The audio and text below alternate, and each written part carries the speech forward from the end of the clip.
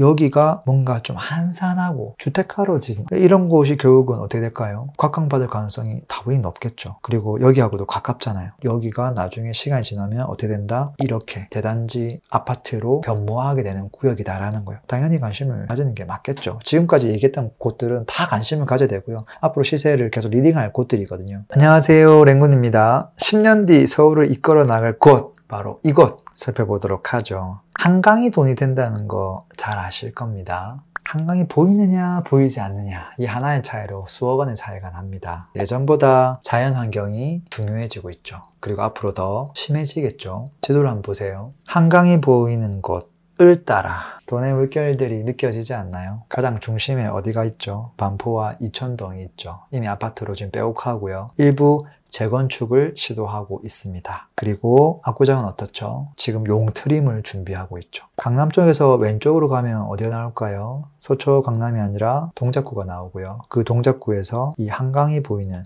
아파트 아크로 리버하임 지금 시세가 얼마인 줄 아세요? 한강뷰가 나오는 곳이 23억 정도 합니다. 잠실 S가 지금 24억 하거든요. 잠실 주공이 지금 20, 뭐, 5, 6억, 6억 합니다. 여기까지 지금 따라왔다는 거예요. 대단한 거죠. 그리고 또 왼쪽으로 가면 여의도 재건축이 있죠. 강 북쪽으로 가면 어떨까요? 강 북쪽으로 가면 용산 부드차크를 하는데요. 그곳에는 지금 큰 변화 사항이 있죠. 한남 뉴타운이 지금 진행되고 있죠. 그리고 왼쪽으로 가면 마포구가 이제 나오게 되는데 한강하고 좀 가까운 용강동 현석동, 뭐 상수동, 한강뷰가 보이는 아파트 정말 비싸죠. 교통이 좋은 공덕동도 비싸지만 아래쪽에 있는 동들도 비싸다는 거예요. 그리고 이제 뭐 왼쪽으로 갈 수도 있겠지만 그게 아니라 이제 오른쪽으로 가면 성동구가 나오죠. 성동구에서 한강뷰가 나오는 아파트 다 비싼데 좀 더 가서 성수까지 가면 트리마제 같은 아파트들 어, 굉장히 비싸죠. 평당 뭐 8, 9천까지 하고요. 갤러리아 포레나 아크로 포레스트 이런 것들은 평당 1억을 넘어가기도 하죠. 한강뷰가 나오기도 하고 뭐 서울숲 뷰가 나오기도 하죠. 지금 이제 한강을 따라 남쪽 북쪽을 살펴보고 있는 거예요. 왼쪽은 마포구가 지금 빼곡한데 오른쪽 갔을 때 한남동에서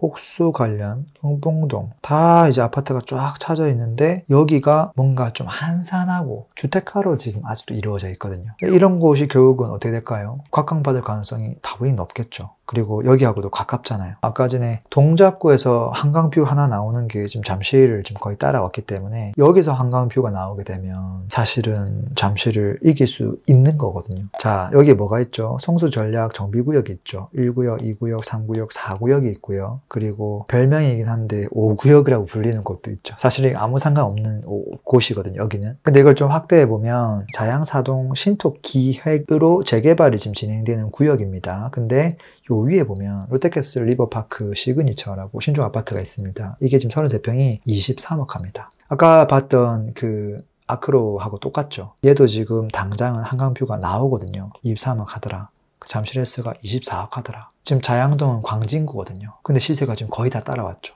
근데 이 녀석의 뷰를 가리면서 여기가 나중에 시간이 지나면 어떻게 된다? 이렇게 대단지 아파트로 변모하게 되는 구역이다라는 거예요. 당연히 관심을 가지는 게 맞겠죠. 지금까지 얘기했던 곳들은 다 관심을 가져야 되고요. 앞으로 시세를 계속 leading할 곳들이거든요. 그리고 이제 좀 더 가면 광진구 끝자락에 뭐가 있죠? 이 포제스 한강이라고 분양을 했죠. 34평 분양가가 놀라지 마세요. 43억입니다. 이거 영구 한강 뷰 나오는 거 프리미엄으로 좀 지어준다는 그 이유 하나만으로 이렇게 분양을 한 거예요. 분양이 얼마큼 됐는지가 중요한 게 아니라 이렇게 했다는 게 중요한 겁니다. 그러니까 그만큼 한강의 가치가 매우 크다라는 것들을 우리가 인지를 해야 된다는 거죠. 아무리 이제 아파트의 프리미엄을 이제 강화한다고 해도 한강뷰가 없었으면 아마 이 시도를 못했을 겁니다. 그만큼 한강이 주는 의미가 크다 이렇게 보시면 될 것 같아요. 그리고 이렇게 짓는다고 합니다. 네, 어떤가요? 한강 관심을 가질 만 하죠. 근데 한강 인근 땅은 과거에도 비쌌고 사실 지금도 비싸요. 그럼에도 불구하고 관심을 가져야 되겠죠.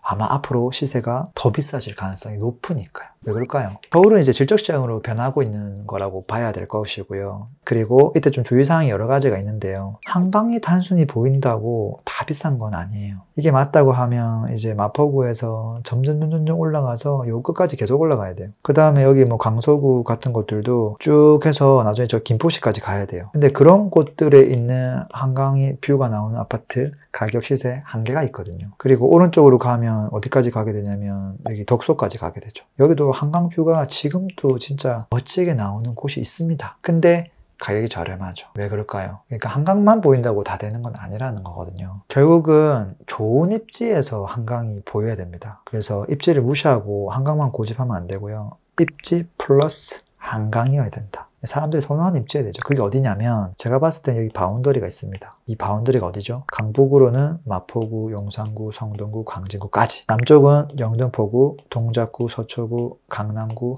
송파구까지 뭐 물론 하나 더 넣어주면 강동구도 넣을 수 있긴 한데 그쪽에 뷰가 나온 그 구역이 잘 없기 때문에 제가 넣진 않았습니다. 요 정도 입지가 되고 여기를 살 수 있는 사람의 수요층이어야 돼요. 예를 들어서 BTS라든지 소득이 엄청 높은 사람이 정말 열심히 일을 하고 주말 하루 딱 시간 내가지고 집에서 쉬다가 한강을 탁 봤어요. 정말 그래 쉬는 게 이 맛이지. 한강 뷰. 이 사람의 그 힐링, 스스로 느끼는 그 가치. 이 사람은 얼마까지 지불할 수 있을까? 일반인이 생각하는 것보다 훨씬 큰 금액을 지불할 수 있겠죠. 근데 뭐 강원도나 뭐 춘천이나 이런 외곽 지역에 가가지고 그 뭐 강뷰가 하나 보인다고 그곳에 뭐 진짜 큰 금액을 지불할 수 있는 사람이 있을까요? 대부분은 엄청나게 바쁘고 성공한 사람들이잖아요. 그 사람들은 분명히 도시 한복판에 살고 있을 것이고 그들의 가치에 맞게끔 판단해 주는 게 맞다. 모든 것들을 나의 기준으로 하면 해석이 안 되는 것들이 너무 많거든요. 그리고 이제 한강을 바라볼 때 좀 몇 가지 체크 포인트가 단순히 이제 한강만 보이고 그냥 도로만 딱 있는 경우 하고요. 사람들이 누릴 수 있는 좋은 공원들을 갖고 있는 곳 이곳은 프리미엄이 조금 더 붙는구나 이런 것들도 좀 생각을 해주시면 좋을 것 같고요. 조금 더 나아가서 이 한강이 갖고 있는 가장 큰 장점 중에 하나가 뭐냐면 한강 끼고 보면은 북쪽에 뭐가 있죠? 강변북로가 있죠?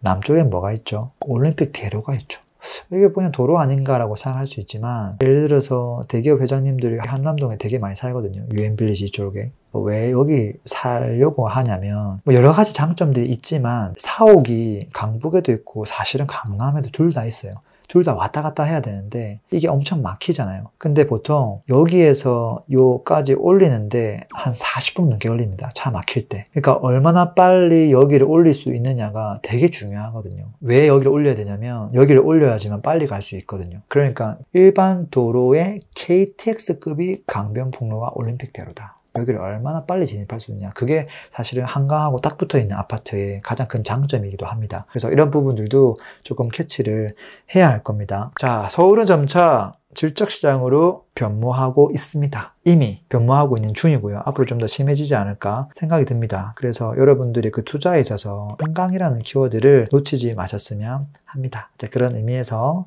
제가 한번 영상을 만들어 봤습니다. 자, 앞으로 여러분의 재테크를 응원하겠습니다. 저는 행군이었고요. 다음번에 더 재미난 주제로 찾아뵙겠습니다. 긴 영상 들어주셔서 감사합니다. 가격이 오르고 내리는 원리 제가 무료 전자책 지금 프롬 사이트에다가 올려놨으니까요. 원리를 미리미리 좀 공부를 해 두시면 좋겠습니다. 현금 흐름도 만들고 싶은 분이 있겠죠. 이건 별도의 공부가 좀 필요합니다. 제가 VOD로 좀 무료로 하나 올려놨으니까 프롬 사이트에서 보시고 무기 하나를 더 장착해 가시면 좋겠습니다.